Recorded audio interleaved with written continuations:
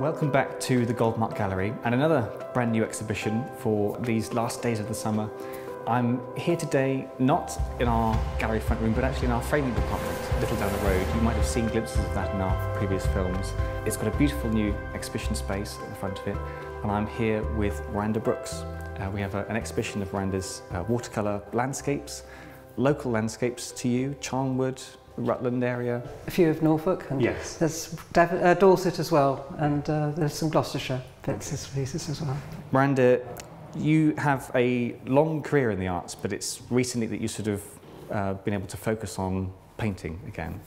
You actually told me a, a, a special story about where your watercolour paints came from. Yeah, my, my mother gave me the watercolour paints. My mother was a, a painter, as was my grandfather. And um, my mother had this idea that she and I would go out into a field together and paint together, uh, which could never happen uh, for very obvious reasons. I was working full time, but I was also a um, um, tutor, regional tutor for the University of Birmingham, as well as teaching full time. So there weren't many hours in the day left. so that always became one of those talks that we would do one day. And she gave me a, a box of watercolour paints because she had the idea that watercolour would be my medium rather than what I was doing, which was more on the textiles side. And uh, after she died and I retired, I sat there and I opened my box of watercolours and uh, set off into doing watercolours.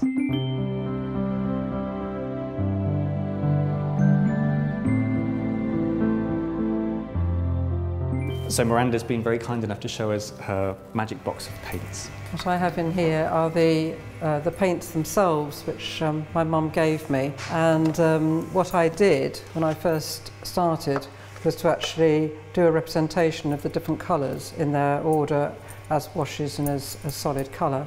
If you can only really mix a watercolour paint a certain number of times before they go muddy.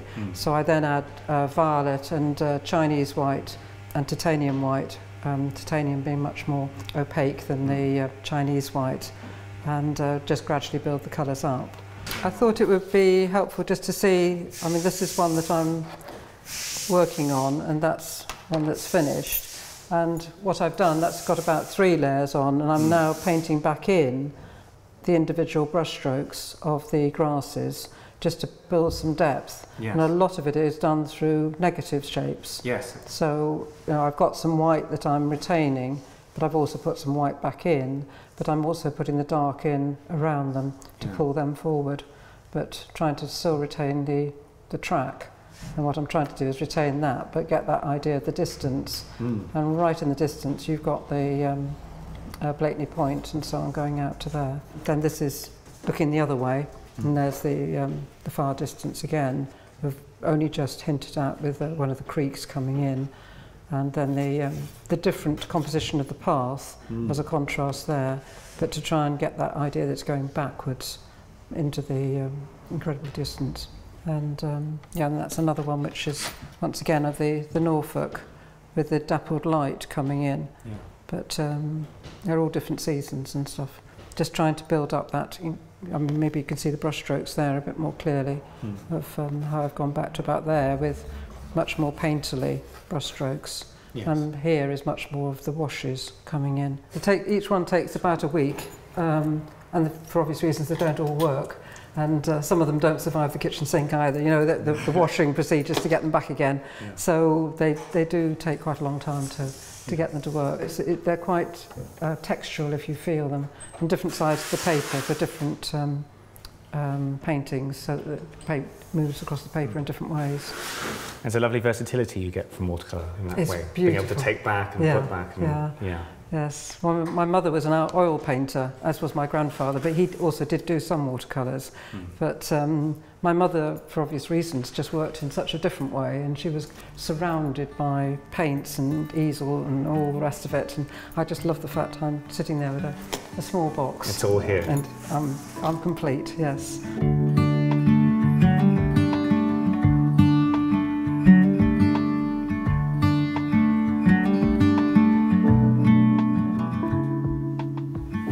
Is a, a medium that, that obviously has lots of ties to the British tradition, lots of uh, sort of very famous British watercolourists.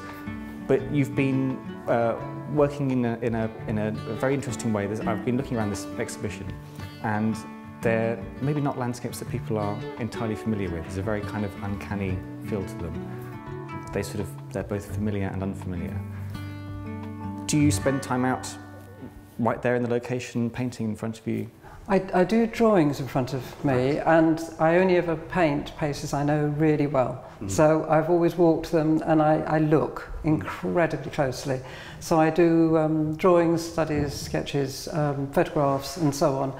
But the places, I mean there's um, various ones of a, a particular farm near where I live in Charnwood, mm. which uh, I walk nearly every day, at least twice, three times a week. You know, it's that sort of thing. But obviously during lockdown, we've all done many more walks of yes, those sorts. So we've sort of explored them further, but everywhere is very, very familiar to me. I may not know the names very well of the places, mm. uh, especially in Rutland, because they're just beautiful places that I uh, adore, but they're not, not necessarily ones that come with the right uh, map reference from me. But yes. uh, yeah, and uh, they're very much um, local things that I love, yeah. Could you tell us a little bit more about the process of what goes into these paintings? Because I think for a lot of people, watercolour is sort of quick, splashy, sketchy, but these are very uh, carefully layered works, take a long period of time to, to wake. Yes. Well, what I, I do, I mean, I'm standing next to one here, so if mm. I, I sort of look at that one, what it comes from is doing everything in layers. So I'm, I'm putting down the first layer and then I'm putting another layer on top of that and then scratching through to the mm. first layer and then the, that whole lot dries and they dry overnight and seep in and things like that and quite often I then wash them mm -hmm. and then go back in again and, and put another layer on the top and they're very um, much built up over time rather than being done very quickly. Yes. But it's a sort of stretching of the British landscape tradition, I yes. would say, because uh, if you actually went back to the first layer, you'd probably recognise it. Yes. It's just the layers on top that yeah. uh, make it more difficult to get. And then the brushes I use are very fine and very detailed, but they're also quite big ones. And I've got brushes this big as well as ones which are sort of that big, and um, sable as well as um, synthetic. And then the build up of the paint is actually, sometimes I pull it through from the layer underneath, yes. but sometimes I then use inks and work back into them to pull out the negative shapes rather than the positive shapes. Because of course with watercolour you work from light to dark. Yes. And once you put it on your dark, you are in a mess yeah. trying and to put it back again. That lightness of the paper as well, using that as to, to effect as well. Yeah, yeah. no, it's um, very nice paper, very yeah. very nice paper. It forgives, uh, especially washing, which yes. is a, a classic technique of watercolourists. They get it under the tap and give it a good old scrub and uh, have another go. Yes, you were saying uh, some of these end up in the kitchen sink. They certainly do. They certainly do. Yes, yes, with the pan scourer, just yeah. sort of giving us. But it takes the uh, top surface off. And, yeah. uh, but I also use either side of the paper and things like that, depending on uh, you know the what I want to get out of it and things. So uh, there's been a lot of lot of different experimenting has gone on, and throughout that, things have worked and others haven't. You know, it's yeah. it's the classic.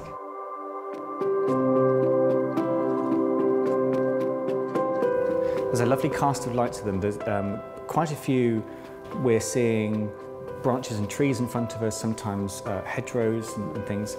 They're not completely devoid of human presence, are they? There are occasional figures and also that suggestion of um, sort of fences and things, impositions on, on landscape. Yeah, no, I was very keen to have the idea that the people are around, but I'm not that enthusiastic to have people in them. Mm. And then there was the one which is actually called, I think it's Meeting at the Water's Edge, which was actually one on Rutland Water. Mm. And um, my husband has the habit of getting a magnifying glass and going really up close and uh, looking at them. And he said, there's some people here and there's a dog. and I said, no, they're not. And, and, but he found them. And as soon as he found them, I could then see them. But I mean, they're only, what, quarter of an inch high. But yeah. uh, I don't think anybody else found them without him pointing them out. They do have, a lot of them have that feeling of um, they're not the obvious vista. They're somewhere that you, that you sort of catches your eye as you're walking. They've got that feeling of actually being there in the landscape rather than sort of going and setting up your easel as you... Oh, as, yeah, yes. You might imagine. Yeah. No, I'm a walker. I mean, the one, um, I think it's called Zigzag Hedges, and what it, it was extraordinary because you've got this incredible dominant lines and it's literally going up like a zigzag mm. to the trees which are slap bang in the middle at the top And I mean, it's such a controlled landscape, yes. yet it's also, there's nobody in it. But trying to get the distance and the height Mm, I did that through much more detail at the front, but also very, very slightly changed the tone of the colour Yeah. as it went up. You mentioned at the start that you, you sort of began in textiles and have come this way into, into paint.